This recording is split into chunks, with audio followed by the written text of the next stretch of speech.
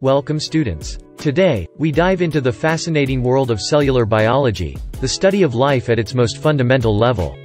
Let's embark on a journey into the tiny, bustling world of cells.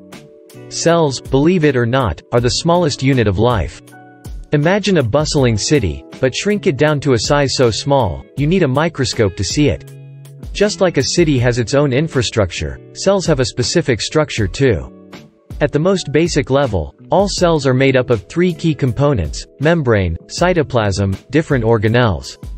The membrane, also known as the cell membrane, is like a security gate. It controls what goes in and out of the cell, keeping necessary materials in, and unwanted substances out. The cytoplasm is the cell's playground, where all the cell's activities occur. The organelles, these are like the different buildings or places in a city, each with its own specific role. Now, let's zoom in a little more and meet two types of cells. Eukaryotic and prokaryotic cells. Eukaryotic cells are like metropolitan cities. They have a well-organized center called the nucleus, which holds the cell's DNA, the genetic blueprint of life. The nucleus is like the city hall, the control center directing all cell activities. On the other hand, prokaryotic cells are like simpler, smaller towns. Instead of a nucleus, their DNA floats freely in the cytoplasm in a circular form. Just imagine a town where all the decisions are made on the go, right in the town square. A special mention goes to our green friends, the plant cells, and some types of prokaryotes. They have an extra layer of protection, a cell wall. It's like an extra security fence around the cell, providing support and maintaining the cell's shape.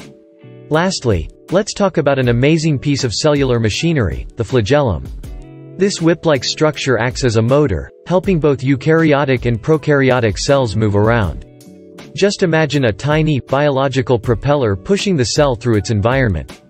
So there you have it, the intriguing and complex world of cells, condensed into a nutshell.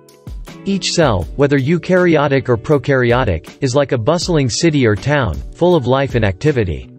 Next time you see a plant or pass by a pond, just imagine the millions of microscopic cities working tirelessly within.